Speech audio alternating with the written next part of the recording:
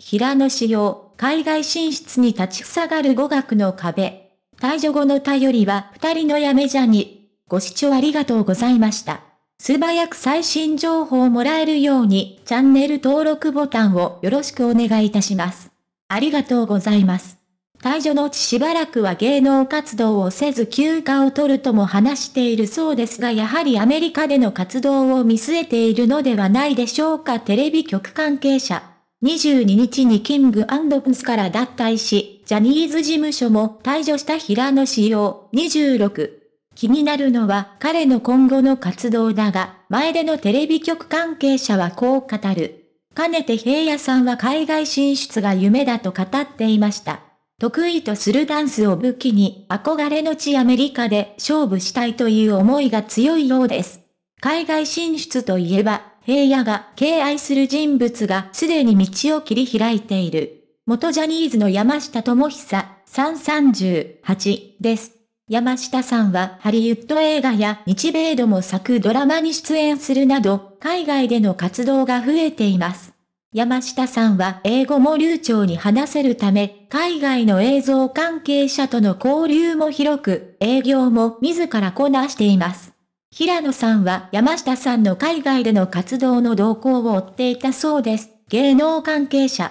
平野は以前から山下に戦望の眼差しを向けていた。平野さんはジャニーズ事務所入所前山下さんの主演ドラマプロポーズ大作戦フジテレビ系を見て山下さんに憧れるようになったそうです。髪形を真似たり、楽曲をカバーしたりしていましたよ。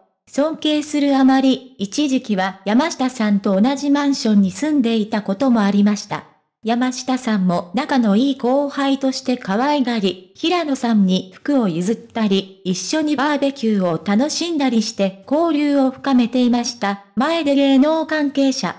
二人にはこんな共通点もある。山下さんは06年に、黒詐欺 TBSK で連続ドラマ初単独主演を飾りましたが、平野さんも22年の黒詐欺でゴールデン帯の連ドラに初めて単独で主演しました。平野さんは黒詐欺での主演が決まると、山下さんに全力でやります、と報告したそう。山下さんも激励のメッセージを送ったと言います。前で芸能関係者。平野にはさらにもう一人、心強い味方が、21年3月に、キンプリを脱退、ジャニーズを退場した岩橋玄樹26だ。岩橋さんはこれから世界で活躍できるようにと今年3月からウィル・スミスと同じアメリカの事務所に所属しました。現在はアメリカと日本を行き来する生活を送っていて、英語も堪能です。退場後も、平野さんと連絡を取り合っていたと聞いています。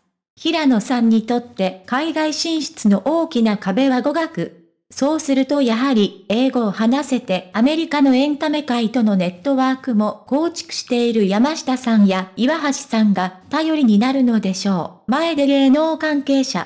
やめじゃに二人の背中を追う平野。